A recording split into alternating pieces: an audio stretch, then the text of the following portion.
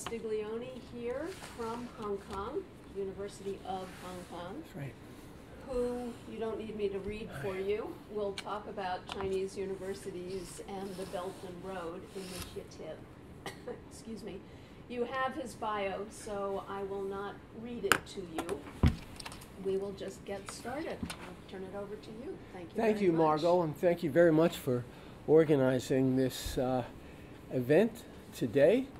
Uh, I am very happy to say that I traveled with a cloud over me because I was uh, in Hong Kong and it was raining like crazy over there. We had a typhoon. And then I had to go to Newport for my sister's daughter's wedding, and it was pouring over there. And then I came here, and again, the cloud is still over my head. So if you like rain, just follow me. Tomorrow morning, I'll be back on a plane in Hong Kong, and I'm sure when I get there, there will be another typhoon. Uh, so it's a pleasure to be here today to talk about China's universities and the Belt and Road. A very general talk. Um, talk for about 20 minutes and and uh, leave a lot of time for Q and A. It's a broad subject. Uh, what you're going to get is a bit of my thinking uh, on this from recent uh, study and experience uh, in uh, in the mainland and in Hong Kong. So uh, here we go. Um, okay, I just turned it off, right? Okay. Uh, as you know, uh, China has um, become a key player in the global economy. And I thought it'd be interesting since we're here in New York, uh, and you probably had enough of this, but uh, that's Vincent Lo on the right and Walter Chang on the left. There's a two Hong Kong, two Hong Kong uh, uh, tycoons who in 1991, when the Daily News had this as its headline, Trump in a slump, worried banks are pressing him for 2 billion debt, uh, they bailed him out. So, if you want to know um, why Fareed Zakaria published his book around that time, The Post-American World and the Rise of the Rest, the rest being China and of course India. Uh, this is part of it. I, I, I like to think that that photo is of Donald Trump is from the Peninsula Hotel uh, in Hong Kong, but I haven't been able to check it out. And of course, you see books like this being published, China Wealth and Power, the, the great book by Orville Schell and John Delury. Um, Mark, Martin Jacques's book visited our university in Hong Kong recently, uh, When China Rule, Rules the World. And of course, uh, Hu Angang's book, uh, the, A New Type of Superpower, China in 2020. The China Dream, of course, the posters around the country are, um, are very visible, and this is the theme that's often heard about China's rejuvenation. Now, there was an article in the New York Times recently about a debate regarding, you know, there's the notion that China's GDP led the world for 17 centuries until the 18th century. China had uh, the, the greatest amount of global GDP. But uh, there, is, uh, there are some variations on that. There was a study at Princeton recently and uh, some discussion. Of course, China joined uh, the BRICS, uh, Russia, South Africa, and, and Brazil, and India. And this is interesting because this was, of course, from February of this year. Xi Jinping's two guidances uh, this was, I think, a, a, significant talk. This was an internal uh, talk uh, to guide the international community to jointly build a more just and reasonably new world order, and to guide the international community to jointly maintain international security. This is quite a change from Deng Xiaoping's notion of keeping. Uh, uh, keeping uh, China's China's um, development under the basket. Now, this is very significant when one considers, in historical perspectives, the cover of Time magazine. I don't know if you remember this.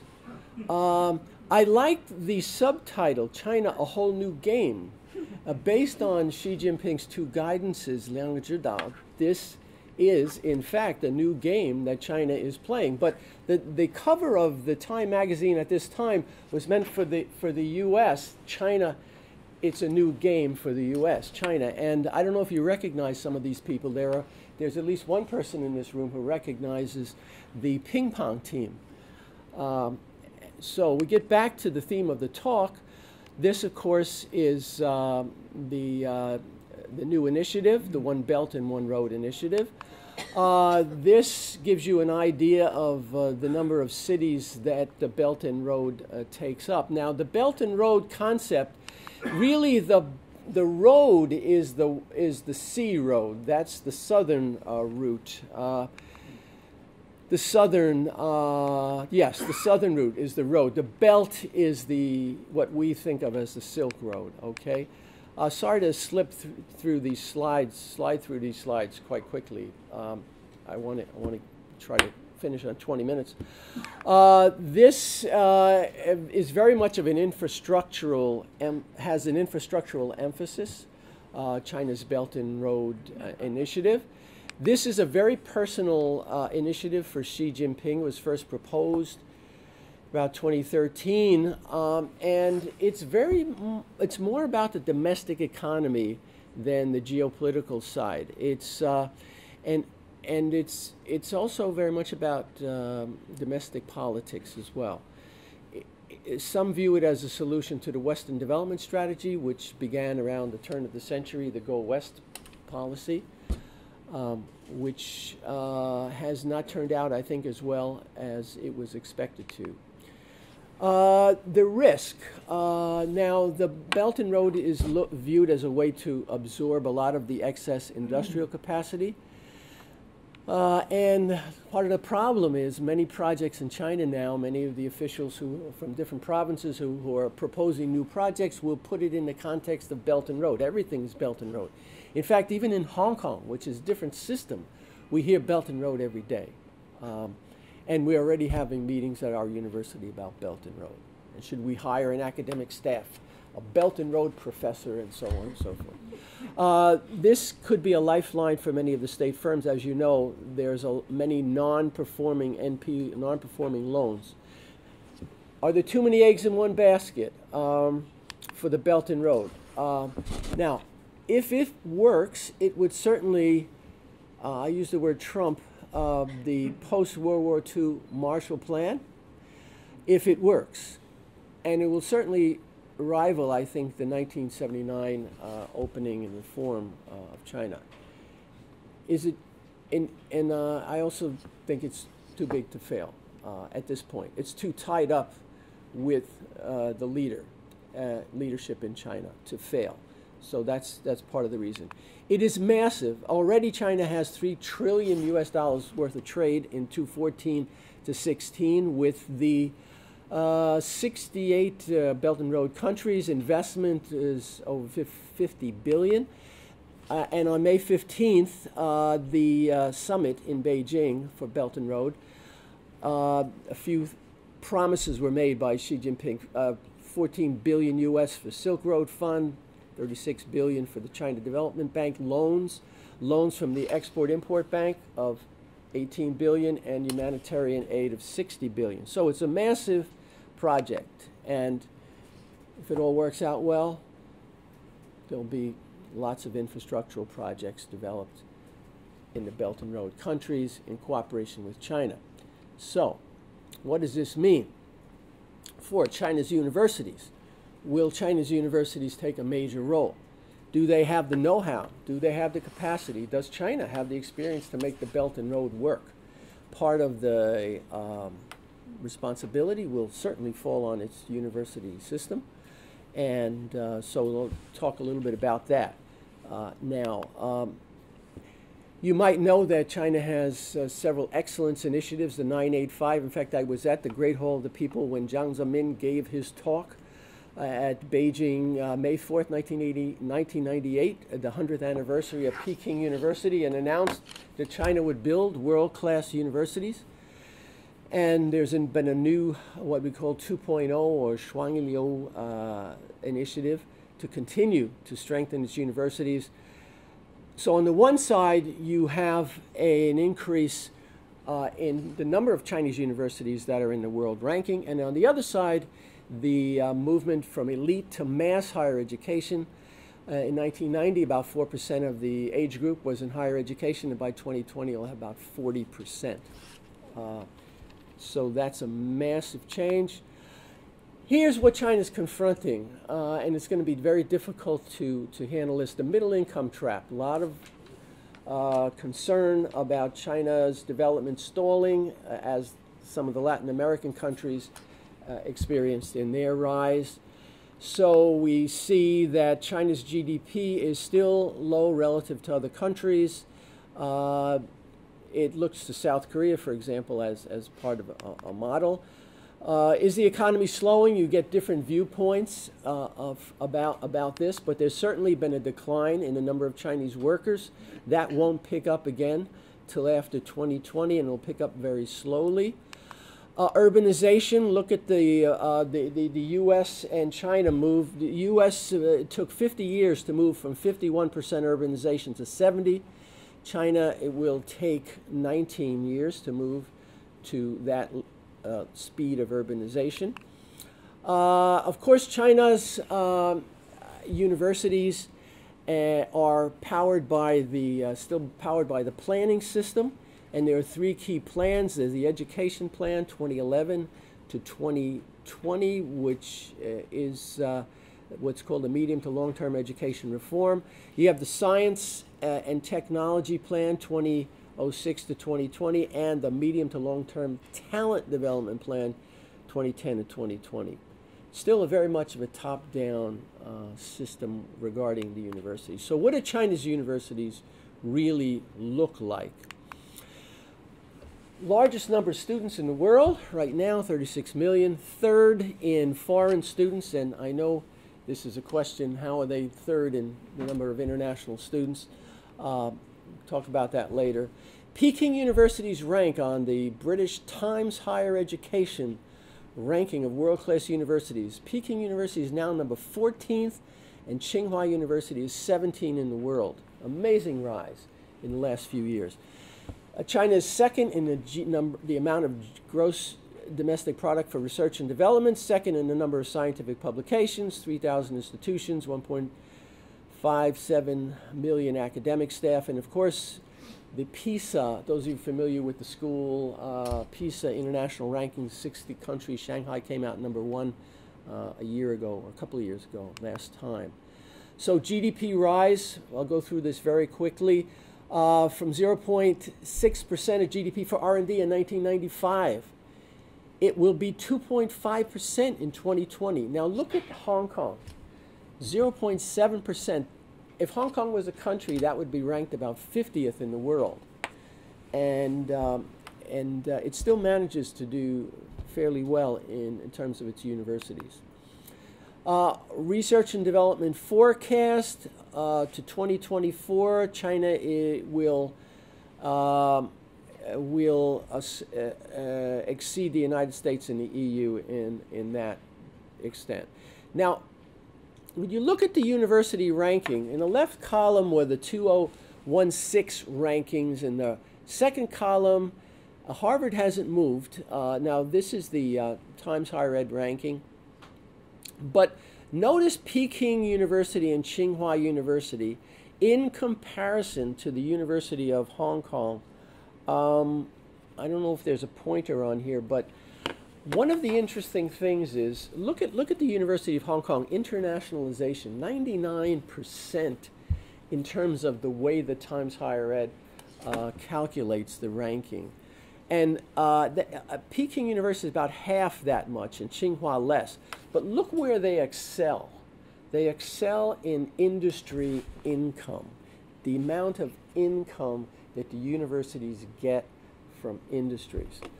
Th that, I think, explains a lot of their rise. How can it be 100, 100%? The hundred is the the maximum uh, amount in there that I mean you could. The way it's calculated, it's calculated in the proportion of rank proportion of income that the universities will get from industry on the Times Higher Ed scale. The Times Higher Ed scale has 100%. They usually calculate the, the top, would, they would look at the proportion that the number one university in the ranking gets. Uh, and so you would say whatever university is ranked at the top, it's probably Caltech that year. I'm sorry if I don't, don't remember. Or probably MIT, I'm sorry. Um, so MIT would, would be one, and everybody else is, you know, below that. Um, sorry, I can't give you a better answer to that, but clearly, this is something they, they do very well at. Now, the reforms, the um, these are just three selected reforms. They're recalibrating to more skill-based education because of the economic restructuring, but there are quite a few experiments in liberal arts or what they often call general education, and Sino-foreign programs and campuses have expanded. Um, here are some of the Sino-foreign campuses. You're probably familiar with these. At the top, Duke University Kunshan, University of Nottingham has been there before the others. NYU Shanghai, of course. UIC is the Hong Kong Baptist University in Zhuhai. Um, Xi'an Jiaotong University in Liverpool, University from the UK, and the Chinese University of Hong Kong has just established a campus in Shenzhen. Now, if you look at the campuses themselves, these are quite something. Uh, very impressive. I was particularly impressed. I was at Duke Kunshan a few days ago uh, before Boston. I went direct from, from Shanghai to Boston. And they are actually even doubling the size of that campus. Amazing place. NYU only has one building, but it's right in the center of, of downtown. And uh, they're also running a liberal arts program that on the bottom right that's that's Nottingham University in Ningbo, which is the replica of the one in in uh, Nottingham. I'm sorry I have to go through these quickly. These are the Hong Kong campuses. Uh, I, I always have to put this quest, this quotation by by Ezra Vogel. Uh, it's it's a bit dated, but uh, it if I may read it. The result of China's opening and reform for higher education has been an intellectual vitality that may be as broad and deep as the Western Renaissance. Okay? So when China looks at its universities today, it, it looks at itself and sees quite an amazing transformation. Not surprising. And not surprising that its universities will probably have, not only through its international students which are studying, its students which come to the US and UK, Western Europe, Canada, Australia, but also, uh, I think, through uh, its, its uh, through other means, will begin to influence the system. Now, the other side of it is my old friend Philip Altbach from Boston College, who spends uh, quite a bit of time in China and around the world. They, he has the higher edu- International Higher Education Center there. He has two. He has uh, he has a recent article that talks about the glass ceiling. By the glass ceiling, he means the limitations on autonomy, and clay feet, by which he means that the bottom of the system, second and third tier universities, are still quite weak uh, autonomy is an issue. Uh, uh, we did a study comparing Hong Kong and the mainland. We asked academics in both places, and I, I, won't get into the details of the study. At your institution, which has the primary influence? Faculty committees.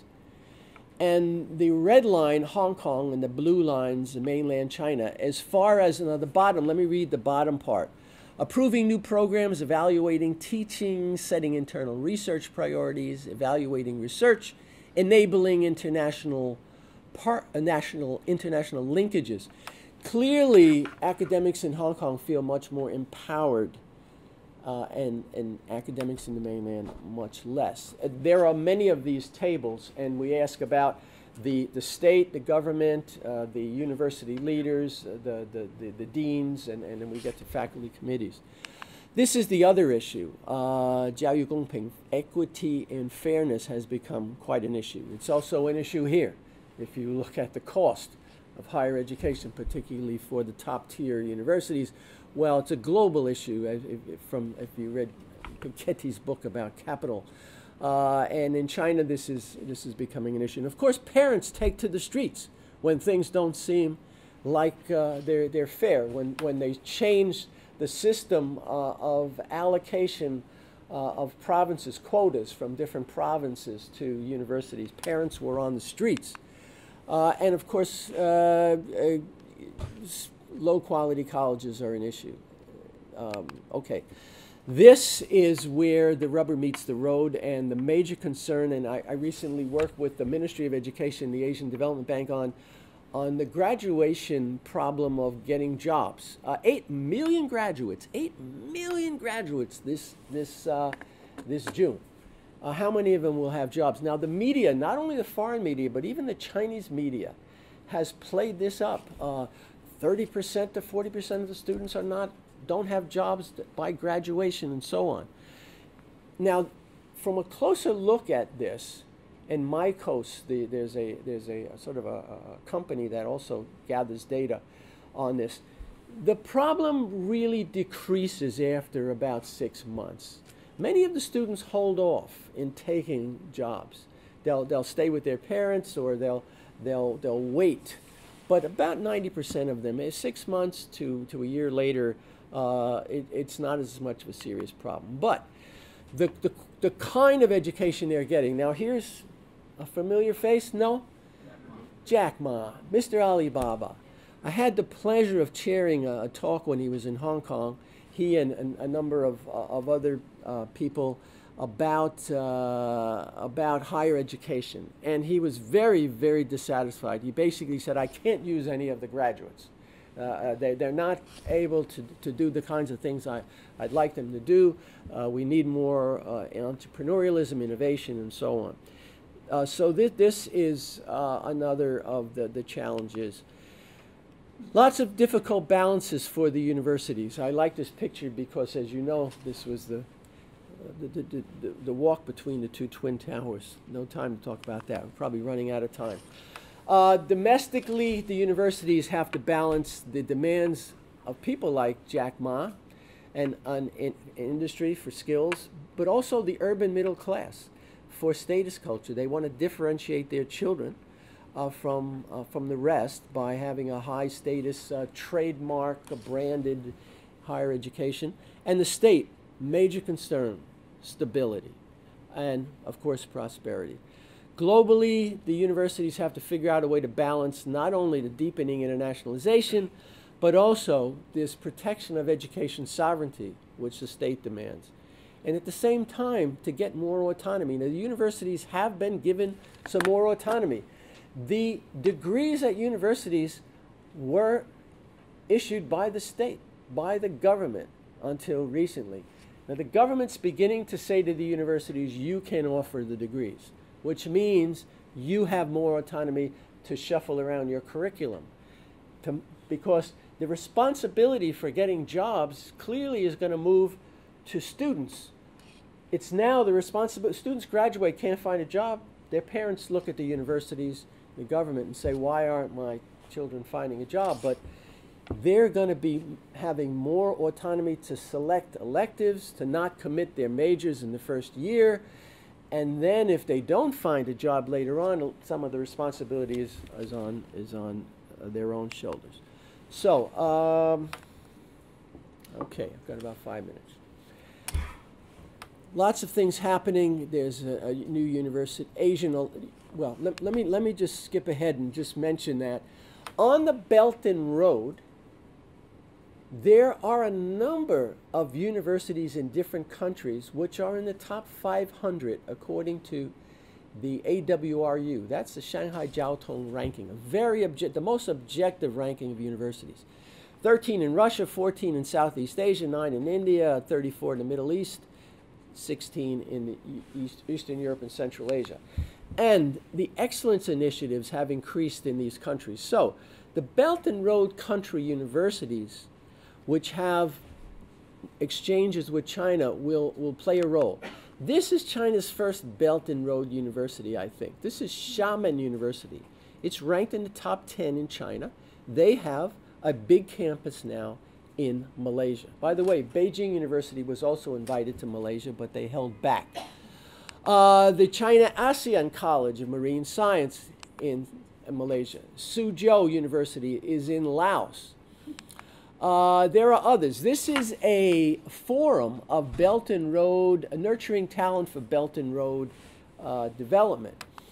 Tsinghua University, now this isn't the Belt and Road, but I just have to mention this one. Tsinghua set up in Seattle. Amazing. Of course, they get $40 million from, from Microsoft.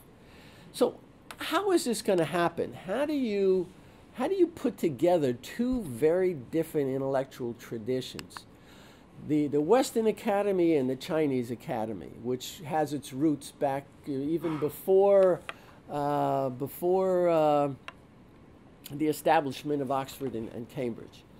And I think right now it's sort of like this. Uh, they don't really line up very well and I don't know how this is going to happen. Of course, you talk to Philip Altbach in Boston. He says there's only one model in the world for a university, but there are others like Simon Marginson in, in the UK saying that there's a Chinese model. This is a, a, the kind of uh, what you often hear now. Will Asia just be producing more of the same Western originated contemporary higher education? Or will it be able to unleash a more critical understanding and practice of higher education? Um, this is a Hong Kong president of a university. Now, I didn't translate these, just want to give you an idea of some of the, the people who are writing about the Chinese intellectual model. Now, the reason it's not translated, of course, the classics have been translated, but the modern contemporary theorists, we're translating them now into English uh, to, to, get them, uh, to get them out. But look at the books being published recently Liberal Arts Education in Colleges in East Asia. The largest expansion of liberal arts is not in South America, not in Europe, not in uh, other parts of the world, it's in Asia. And um, books like this General Education and the Development of Global Citizenship, Hong Kong, Taiwan, and the Mainland these two books, uh, the one on the left, Bill Kirby, uh, former dean at Harvard, and uh, Marijk van der Wende from, from Amsterdam, Experiences in Liberal Arts. In, in, uh, this includes the US, Europe, and Asia. This book was produced in China.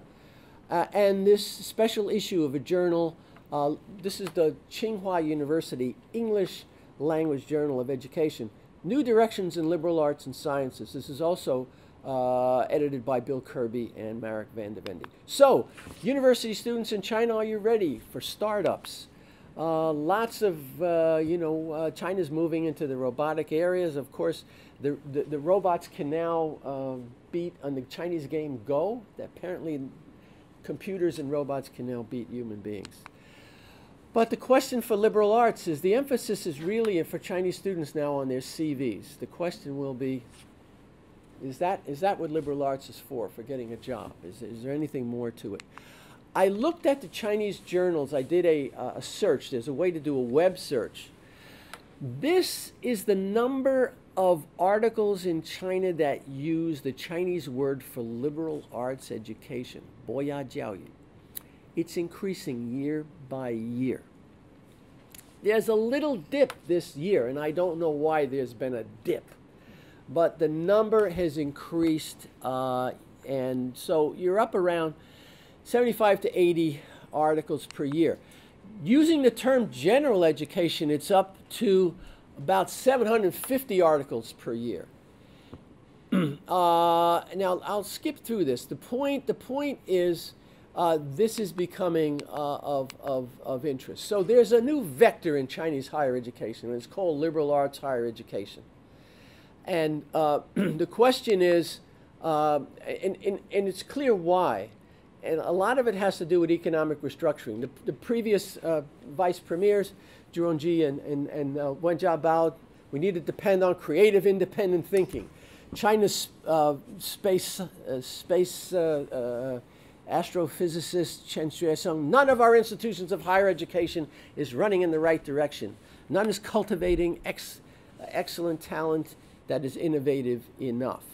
So this also drives uh, the, uh, the model. And I think there's an interesting question about liberal arts higher education for the Belt and Road countries.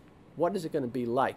Xiamen University, for example, has a liberal arts general education curriculum in the mainland. Now it has a campus in Malaysia. What are they doing there? Obstacles and challenges. Okay.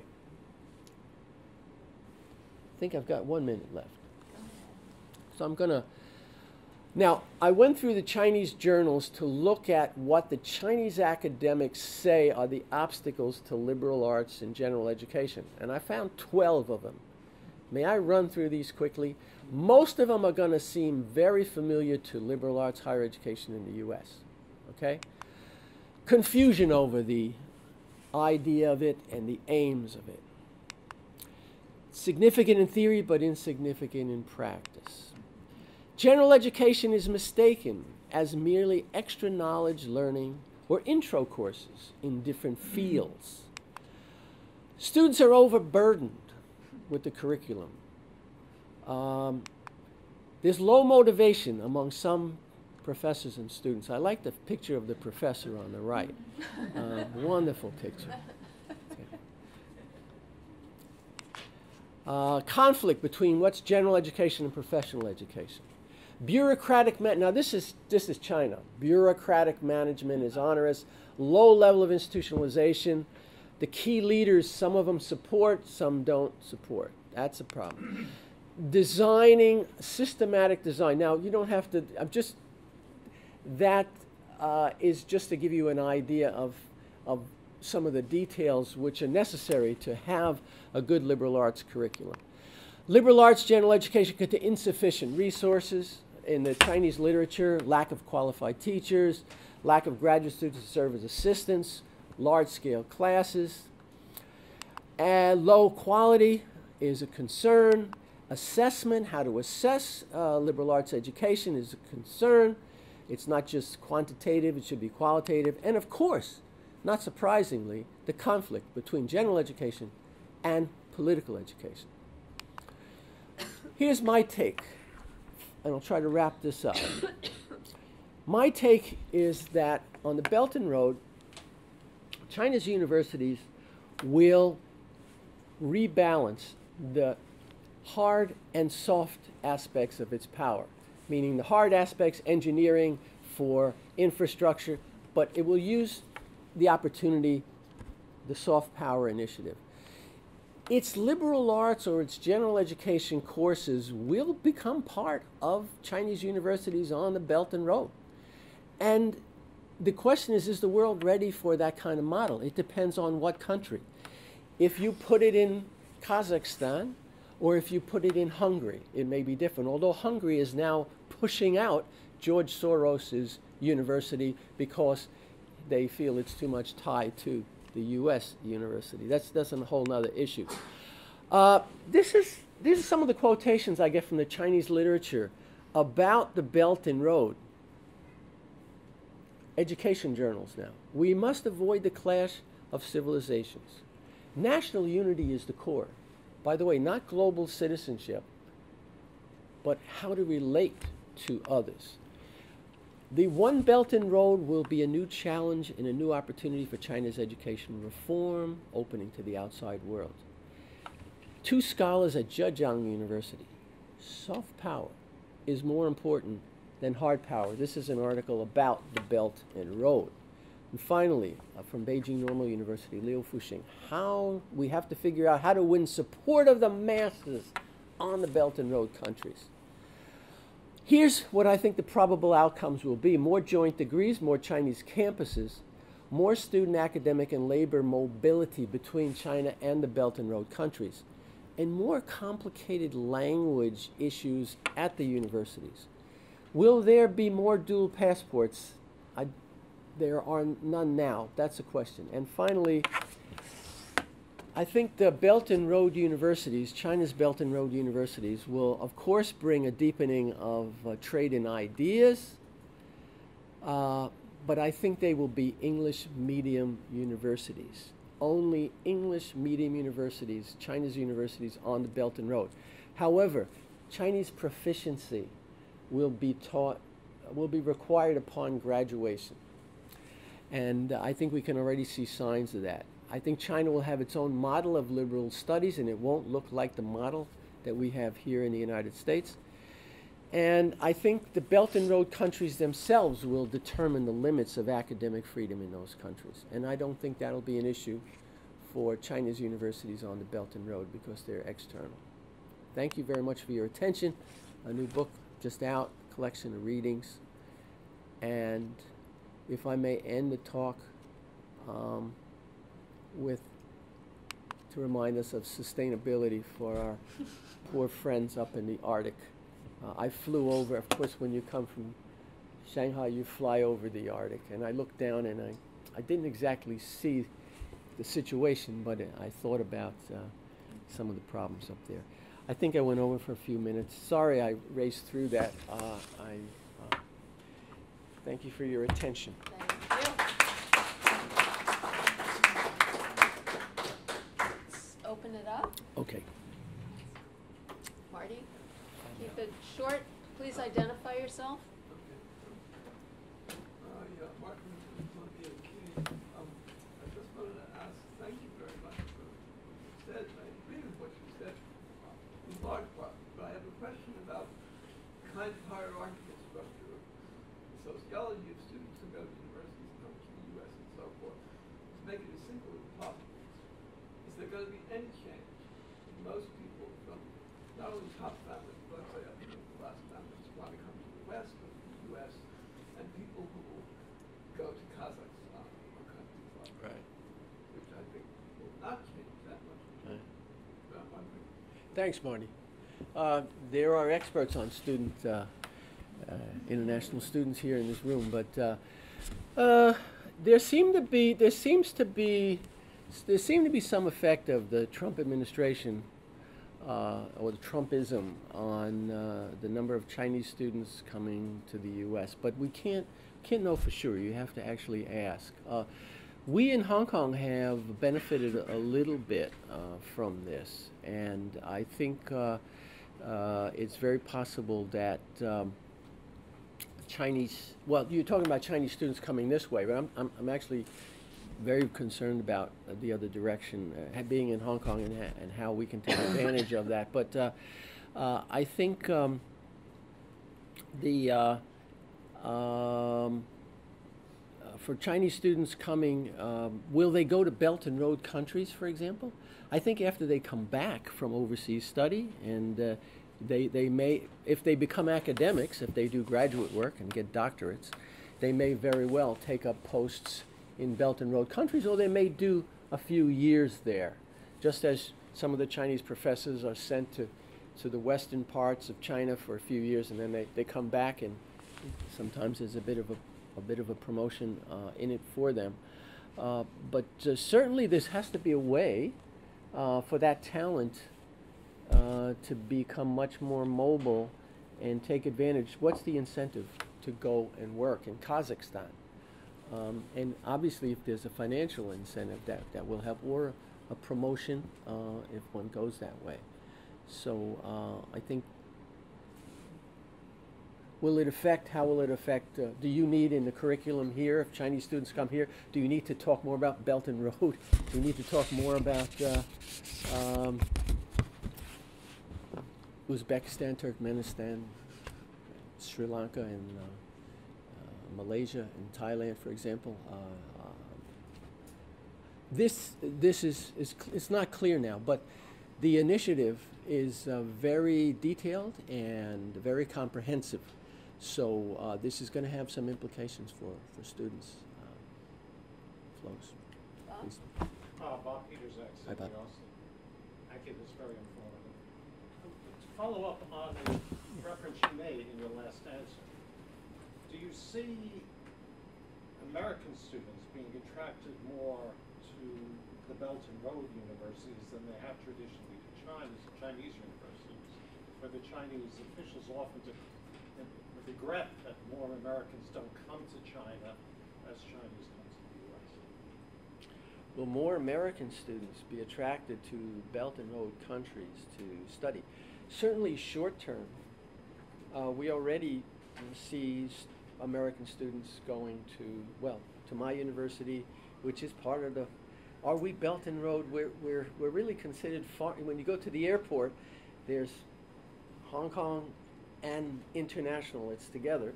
Uh, but um, I think uh, uh, you see American students doing a semester in, uh, in Thailand, in, in, in, in India, um, in uh, certainly you know South Korea and uh, Kazakhstan. Those places, how many would go and spend time? I, I'm not sure. Certainly in Eastern Europe, in Hungary, I know of several American students that, that spent a year there. Um, so uh, it, you know, uh, the U.S. system has already reached a level of mass, a certain level of massification, whereas China hasn't. So there will be more and more students, and, and that means they'll go to more and more places. But uh, I, I, uh, I, when I, when I talk to American students, they still seem to be very much focused on, uh, you know, Paris, Rome, and uh, maybe Tokyo, uh, and uh, to attract them to other places might take some time. And of course, the Belt and Road countries will develop, uh, and that may things may change, may become more adventuresome.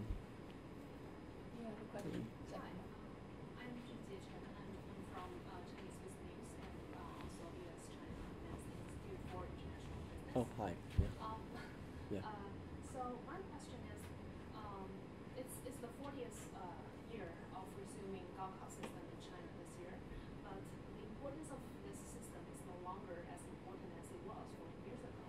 I guess one of the reasons is that um, there are fewer children um, in this generation, um, and also uh, it's because people are getting richer and uh, families will have more options offered to their kids, um, either to go abroad and study or um, you know um, have other professional um, opportunities um, for for their kids.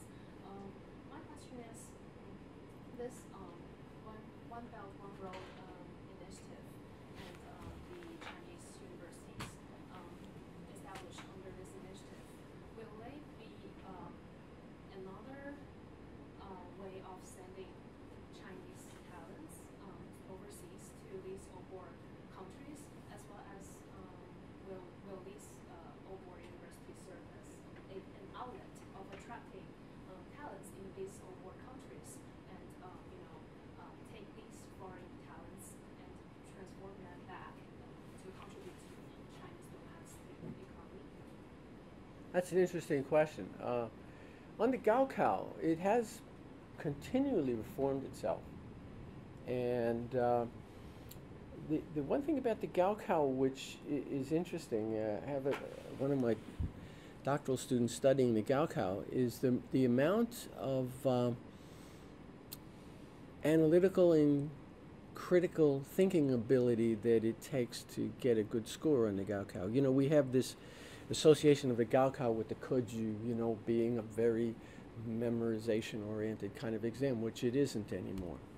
And uh, Scott Rozelle at Stanford University and his team uh, came out and said that uh, students who take senior secondary students taking the Gaokao in mainland China uh, display a higher level of critical thinking than students in the United States. I mean, that's how far they're going to, to talk about the reform of, of the Gaokao.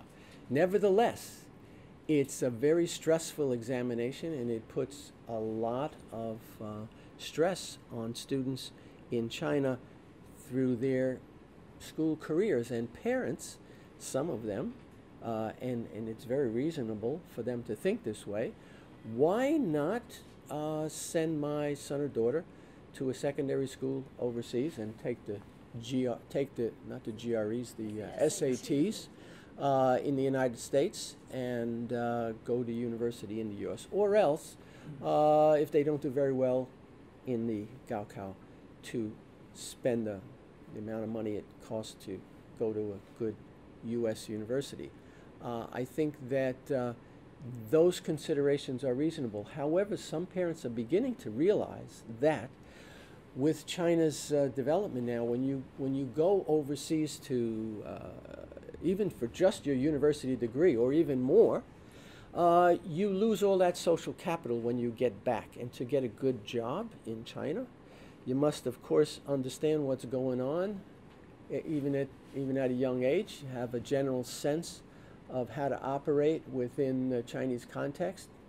Uh, you can learn a lot in the U.S. context, but to to to, uh, to keep your uh, your networks for getting jobs. This seems to be one of the areas. So, th- so what does that mean? Uh, about will that cut down on the number of people who will leave? Uh, will they say, well, it's better to stay? As the quality and the number of universities of high quality. So you might not get into Tsinghua, Fudan, Shanghai Jiao Tong, Zhongshan University, but, but the others you can graduate and still get a good job and have a good middle class urban lifestyle. Would they go to Belt and Road countries? I don't think so. Now, again, I'm looking at Belt and Road countries in terms of low level of development. Now, you could consider, uh, you can consider uh, uh, Singapore is a Belt and Road country, uh, and Malaysia, and, and, and there lots of, you know, you can do very well in those countries. That's not looking at a, a, a Laos, for example, or, or, or Tajikistan. But what about the um, the hundred million popula- 120 million population of ethnic minorities? Many are in the West, and they're on the borders. For example, in Myanmar and Burma, uh, the the groups that straddle the border. They may very well, and in fact, they already do go over the border for schools sometimes. Uh, the borders are very porous in certain areas. And what about uh, the Tajik people in Xinjiang? Would they go to university in Tajikistan if they have a good university? Uh, Kazakhstan, there's been a lot of interest. Kazakhstan is doing well economically, uh, as is the Republic of Mongolia. Uh, the World Bank sees them as uh, they're, they're going to take off uh, in terms of all the mineral wealth that they have. Would would someone want to go there uh, for university from Inner Mongolia? Yeah, it's very possible that uh, that they would uh, move in that direction. Again, it's, it's it's incentives, and and some sort of ethnic affinity. Now that doesn't mean that they're going to be separatists in China, but there could be an, an affinity for that country. So that's a great question. Uh, I, I'm sorry, I don't know if I answered it completely, but So, um, so you think that these um, award university outlets will mainly serve as a um, as a pool to attract uh, talents locally rather than serve as a um, Ah. extension of Chinese universities and um, send to send um, Chinese students to, to immerse in the um, award countries cultures. Yeah, let me clarify. I'm sorry. We're talking about the, the universities in the Belt and Road countries, and then we're talking about Chinese universities setting up in the Belt and Road countries. Now, there will be campuses, but there will also be joint degree programs in the national university. China's cooperation with, say, Mongolia, uh, the University of Mongolia, or the Medical University of Mongolia, or the University of Science and Technology in Ulaanbaatar, for example. There could be a joint degree program with uh, uh, Huahata University. Uh, uh, now that's that's a little bit different. What about the student populations? Will there be Chinese students there? They may be there for short term.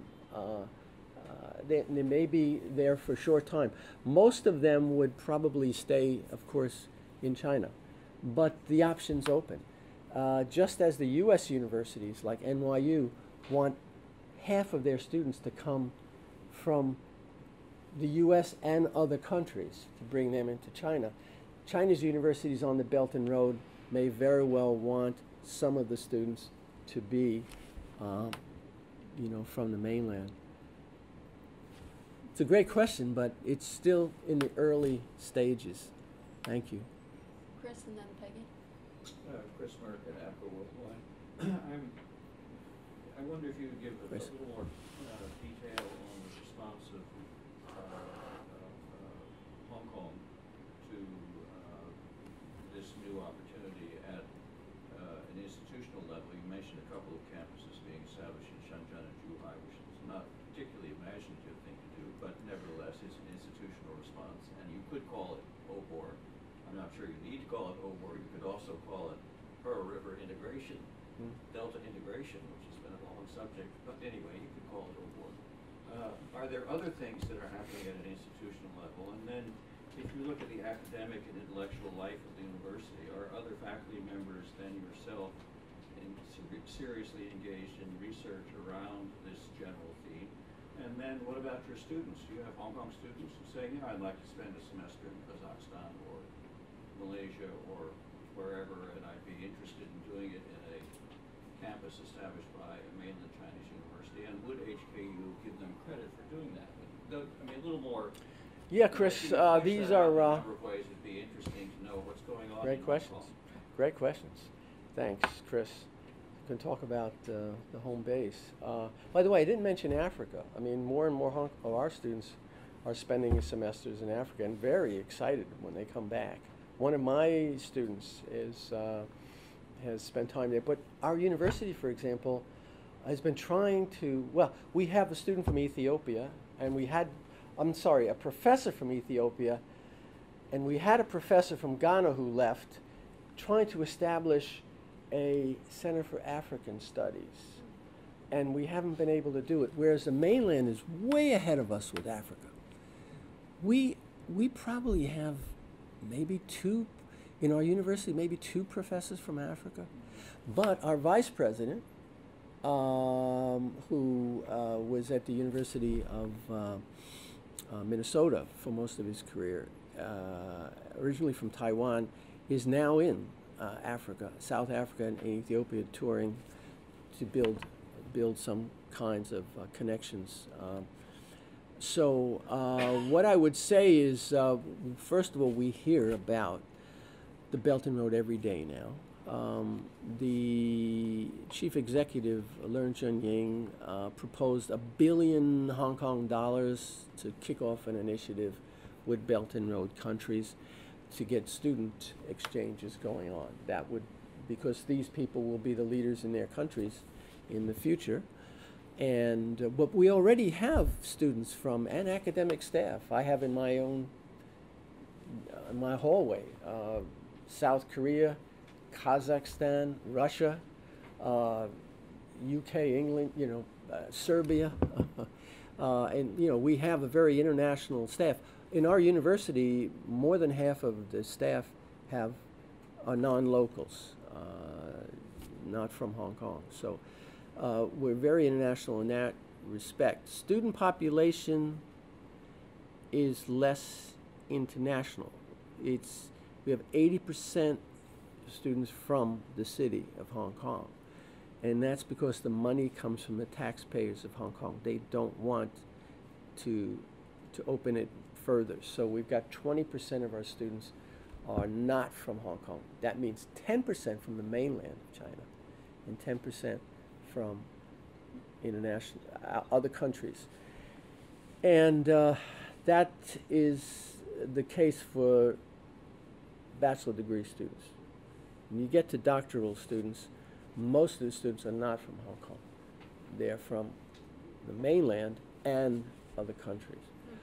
Um, we uh, uh, are uh, talking about the Belt and Road in terms of logistics. Hong Kong is very good at logistics, banking, putting together business deals, uh, putting together um, the legal provisions for um, those kinds of, uh, uh, you know, helping China, for example, in its in its Belt and Road initiatives, particularly in on the on the road part, the southern part. Uh, our university changes. Uh, we, you know, we've introduced. We've gone from a three-year specialized British system to a four-year, very American-style liberal arts kind of situation. Uh, all the universities in Hong Kong have done that. Uh, we, um, so we're we're very much um, and clearly need to, I think, think Belt and Road.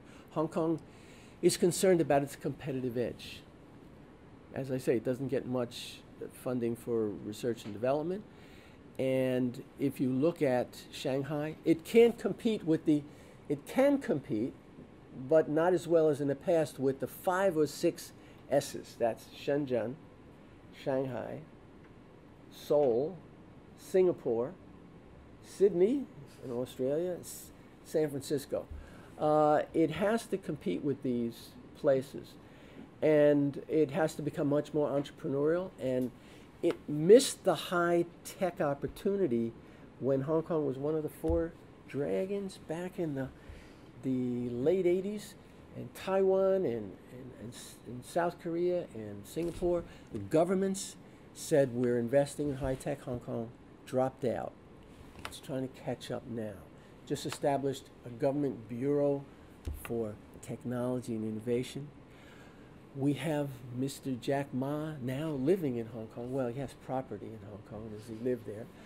But Ten, Tencent company in China, you know, these people, we, we invite them to talk to our students. They're from Huawei. Our students all use WeChat. They don't use WhatsApp. And we're, you know, we're, we're trying to get our students to become more entrepreneurial. Now, the Bay Area plan is a, is a, is a lifeline, I think, for Hong Kong. Uh, and the Guangdong uh, Education Bureau is trying to, they say, double the amount of investment in their universities. I mean, I'm, be, I'm being asked to, same salary, I'm being asked to go to universities in Guangdong. For the, you know, Hong Kong can compete, I mean, they can compete with the Hong Kong salaries. Um, so they're looking at uh, this Belt and Road area to really take off. I, Hong Kong has just Hong Kong has a science park, which which is doing okay, but it's just building another science park on the border with Shenzhen because Shenzhen is really far more innovative than, than Hong Kong is in technology.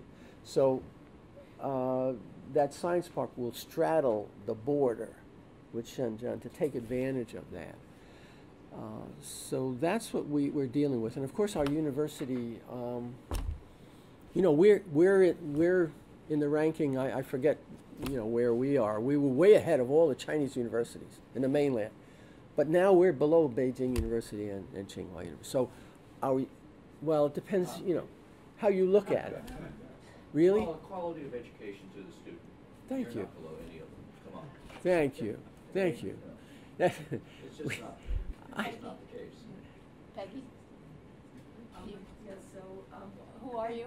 Peggy Blumenthal from the Institute of International Education. Um, so one of the most thought-provoking things you mentioned, which I, I'm still mulling over, is that the language instruction is gonna be English all through these Belt and Road, uh, Chinese universities? Is Well, if China establishes, well, for example, the campus in Xiamen, uh, why, if it used Chinese, I mean, there would there are Chinese. Uh, there's a thirty percent maybe Chinese population, uh, but they're in the north, and uh, that that's not where the university is. Uh, it it would make much more sense, I think, to have. But I'm asking, is it actually an official position, or is this your speculation? I wasn't sure. Oh, your- whether it, that it's was the position. it's English medium now. It, it is the Xiamen University is English medium. Is there an official? Uh, there is no official policy on on Chinese universities over now. All of these countries have Confucian institutes. Right, Okay, right. so they- but what's the connection? Right, but I guess my question is, if they're gonna go for English language, which makes a lot of sense in terms of, you know, all these different countries speak all these different languages, are you gonna force them to speak Chinese, or are you gonna pick an international language? Yeah, But if that's the case, what do they do about faculty? And where does the faculty come from? Um, I can, I can, what are the risks that the students, when they get good in English, will then wanna come to Western European or American universities for graduate school? I guess, so I'm wrestling with, what are they gonna use for the language instruction, and has anybody decided? I know Xiamen, actually, we have an exchange with Xiamen because they teach engineering and English, which is Right, right. amazing. They teach engineering but- English. But what's, if, at what point will they commit to what the language instruction will be, because it makes a huge difference Yeah. to College Board and other people. Yeah. Do they sell their English language tests all across the country? Well, I think the amount of human resources will determine how many campuses Yeah. and so on, and the scale of the campuses and the programs. I mean, look at Tsinghua University in, in Seattle is, is going to basically be computer science. The question is, will they do what Duke has done. Duke started with three master degree programs. Now they're going into, you know, rapid expansion. I, I think it's uh, going to take quite a while. Uh, you know, I'm, you know, I love talking about this, but it's going to take quite a while for there to be campuses, programs, Chinese uh, cooperation, uh, having uh, degree programs or training programs at universities in the Belt and Road. I can see that happening uh, very easily. Well, you know, for- Well, here, here it goes, sort of goes like this. If you go to a Belt and Road country and you want to set up a program, of course, they have their own language. The, the chances of the Chinese being able to communicate in that language is less. English is still that, that international medium. I mean, I think that's recognized. It makes much more sense. And then, do, uh, is, there, ac- is there academic staff to do that? I don't see when I'm at university camp, particularly the top tier university campuses in China. Um, I mean, the the ability to communicate in English. Uh, I mean, it's required. You know, graduate students have to take an exam in English, so I think that's not going to be as much of a of a problem. Uh, again, it's great to, to speculate on this. There is a reality on the ground so far, and I'm sure that the campus in Seattle is going to be in the medium of English.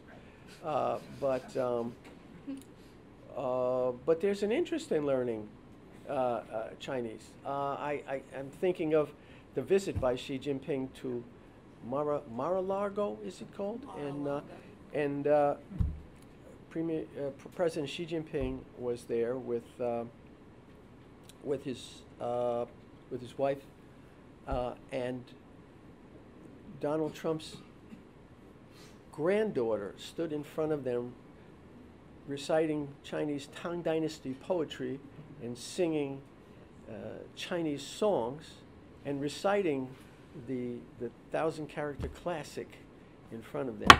Uh, the, the interest in uh, learning Chinese will remain um, very strong, or will get stronger, obviously, as, as time goes on.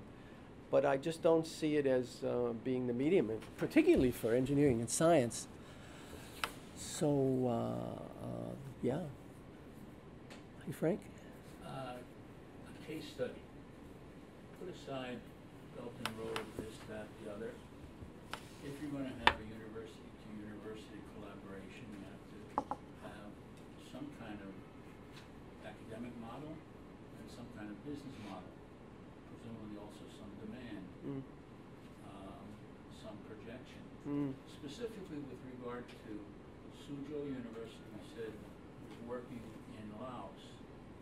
Do you know what the answer to those questions are for Suzhou and whatever the Laotian counterpart is?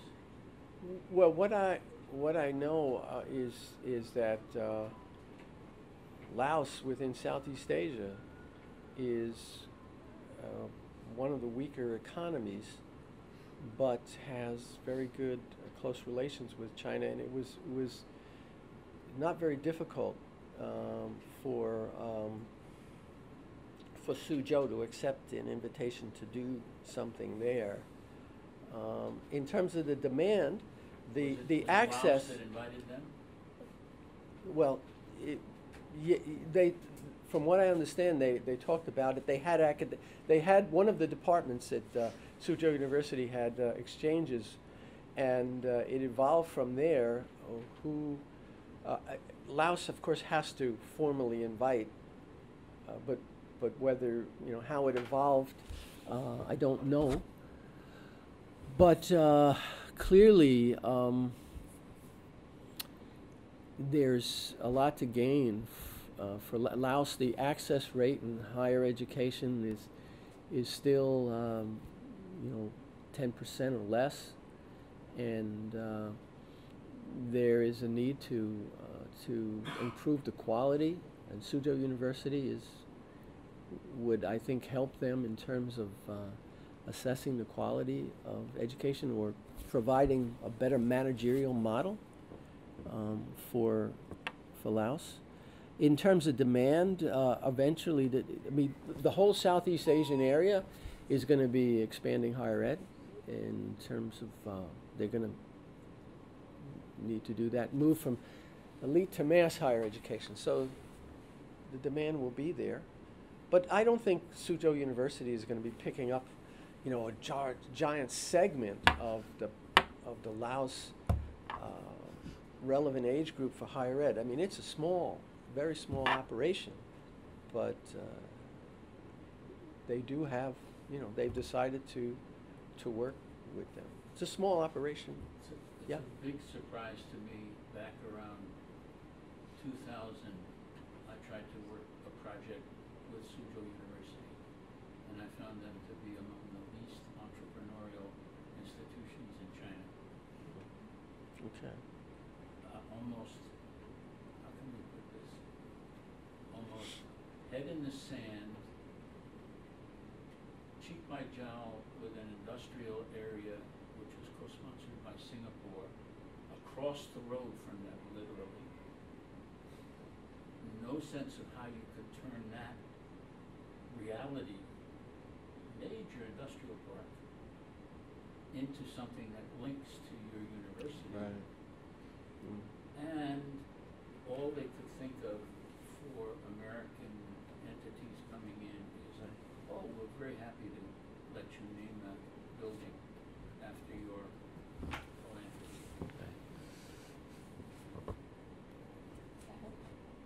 Frank. John Hartman, I'm a member of the public, and I read an article in the New York Times in early May by Ai Weiwei, Yeah. in, in which he was very highly critical of the government of China. Hmm. And his main point was that when you are not allowed to be aware of information, it hollows you out in your personhood, that you can't grow, you can't explore. And he, I, I'm- so I'd like to hear from you. Yeah, Do you think yeah. if he's an outlier, or there's a lot of people in China that feel that way? And if you think a major university can truly perform its function of allowing students to explore and grow into themselves Yeah. in, Yeah. in, those, in that environment. Yeah, this is a key question. I mean, we, we're talking about liberal arts in China, and from our perspective, there's a contradiction. How can you have liberal arts at the same time that clearly there's been a concern by government that they, they need to tighten up the control of the universities, need to control, tighten up on party leadership and so on. How do you put those two together? How do you produce, how do you restructure the economy? How do you, which, which needs to move toward innovation now, uh, how do you produce those kinds of people uh, when at the same time the media, I mean, that's, I always talking about information, and in the arts, I mean, you know, he has lots of difficulties. How do you do that? By the way, Ai Weiwei, eh, there's one interesting thing about China. There are academics who are equivalent to Ai Weiwei in the sense of their ability to, to, to speak up because of their sort of their family or father. Ai Weiwei, of course, is the, is the son of uh, um, uh, Ai Qing. Ai Qing. So, I mean, you know, there are certain academics, some academics can do that, and others cannot. I mean, there's that aspect. So, the, the reason I mention that is because there's, there's the question of uh, is Ai Weiwei an outlier? Okay, how do you know who's an outlier if some people are in a more protective situation to speak to speak up? But uh, the way I uh, see this is that I I do not think that liberal arts is going to change China to become, you know, like the U.S. liberal arts. It's going to, China's going to do what it did in the special economic zones. It's going to experiment with Western management techniques, uh, Western uh, educational methods, uh, whether it's how you teach, whether it's, uh, you know, the kind of curriculum, a liberal arts curriculum, which focuses on creativity. It's going to do that. But for China, the, the priority is stability and economic prosperity. That's it. That is it. It's not like, okay, we're gonna, hey, liberal arts, let's just go liberal arts. It's not, it's, it's, it's a different dimension of, of thinking. So, but at the same time, uh, there's clearly a willingness uh, to to really sit down and talk about this. I mean, I was at Duke Kunshan, uh, and we had a two-day workshop with people from from the universities in China who know about liberal arts and are involved, with those from overseas who are in it, and there was a lot of very very frank talk about uh, you know there's a willingness to talk about it, um, but it clearly. Um, it's not going to be like it is here. So, how do you produce creative people and innovative people? And my answer to that is China is so large that even if it takes, even if a small part of the country, like say one sixth or one quarter of the, it, it gets very liberal artsy, creative, and innovative, that's still more than the entire country of the U.S. Uh, in terms of the scale. So China can do, I think, all these things.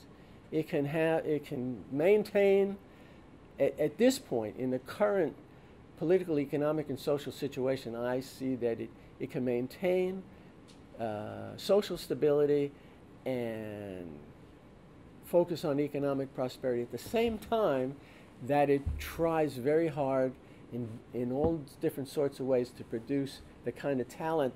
Why? So it can compete with the other global, eco- global economy players. And uh, you know, you look at look at what's happening in, in China. You look at uh, some of the innovative companies, um, you know, whether it's Tencent or Huawei or, or, WeChat or whatever. Um, and so I think that's the way it's going to happen, and it's going to be a slow evolution. Now, who knows what it's going to be like in 50 years, but that's it now. And people like, uh, uh, there are people like Ai Weiwei. There are lots of them in Hong Kong. Now, you come to Hong Kong, we are part of China. And no one, not one academic in Hong Kong has been fired for political views. They're criticized. There are local, the local media, the, you know, sort of more patriotic leaning media will criticize them, and they don't like it. Uh, the academics uh, don't feel comfortable about that sort of criticism. But um, you can read anything you want. The internet is totally open, and none of this has changed. Um, so uh, it, you know, it's been in China. It's 20 years in, in China. So it's, uh, it, you know, you, you have lots of dimensions. So the question that you're asking, I mean, this is the key question, I think, for many, many of us who have worked in U.S. universities. How can you juggle both? And I think uh, so far, because of the scale of the country, uh, China manages to, uh, to juggle some of these things, uh, even though they're outspoken uh, academics and intellectuals. Thank you. Well, maybe that's an optimistic note on which to end. It is seven o'clock. was that optimistic? Thank you. I thought that was. Okay. Thank you.